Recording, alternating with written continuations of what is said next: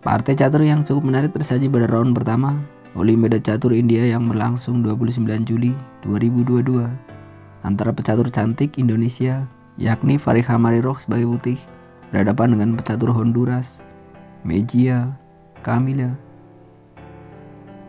Game ini sendiri dibuka dengan pembukaan Italia dengan varian pertahanan dua kuda.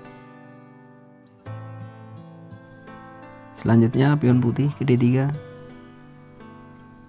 Gajah ke C5 Fariha Mariroh Rokade Pada titik ini Dua lanjutan langkah paling umum adalah pion ke D6 Ataupun langkah rokade pendek.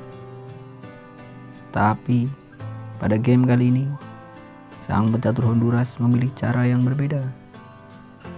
Entah karena ingin tampil agresif menggertak menakut-nakuti putih atau apa pun itu.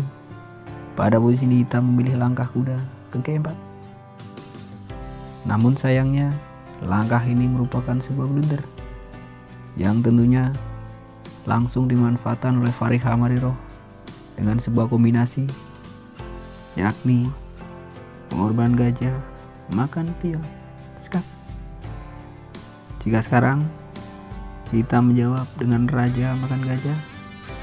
Maka kuda putih kekiling sekat. Tak hanya unggul satu pion di sini.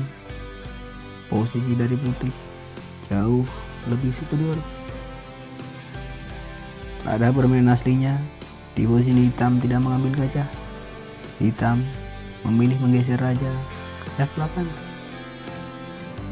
Raja Putih mundur ke B3 kemudian pion hitam ke H6 kuda ke C3 pion ke D6 Farid Hamariroh selanjutnya mengusir kuda dengan pion ke H3 namun bukannya menyelamatkan kuda pada posisi hitam kembali membuat langkah aneh yakni gajah makan pion skak langkah ini lagi-lagi merupakan sebuah blunder karena sekarang file F sudah terbuka yang mana dengan keberadaan benteng putih di F1 menjadikan posisi dari sang Maharaja Hitam menjadi sangat berbahaya.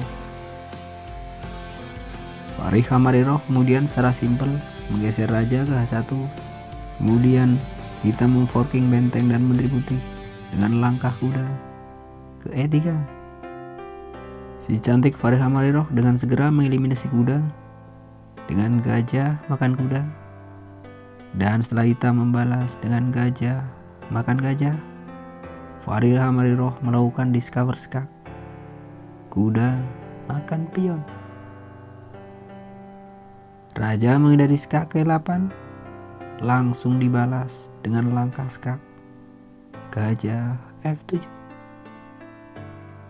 Raja bergeser ke F8, tentu saja langsung berhadapan dengan kuda ke G6.